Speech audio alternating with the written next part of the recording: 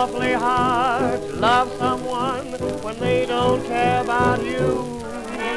Once I had a loving gal, sweeter than in this town. But now I'm sad.